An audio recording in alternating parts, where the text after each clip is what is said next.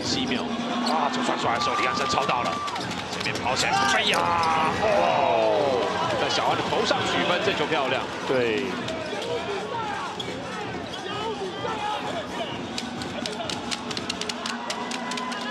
刚才用左手上篮，李汉生本来就左撇子，他的右手有架出去，打到蒋玉安。对，而且这球李汉生球进之后，哇哦，看小安马上还以颜色啊。